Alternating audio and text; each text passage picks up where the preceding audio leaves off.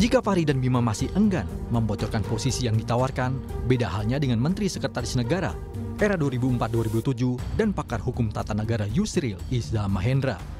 Yusril Gamblang menyebut diminta Prabowo mengkoordinasikan menteri di bidang hukum dan hak asasi manusia.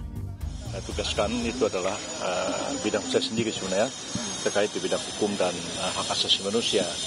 Jadi sekarang ini ditarik ke atas, jadi ada Menko uh, yang menangani masalah hukum dan HAM itu, yang tugas-tugasnya nanti akan mencakup juga selain Kementerian Hukum dan HAM, tapi juga ada kementerian lain, lembaga-lembaga lain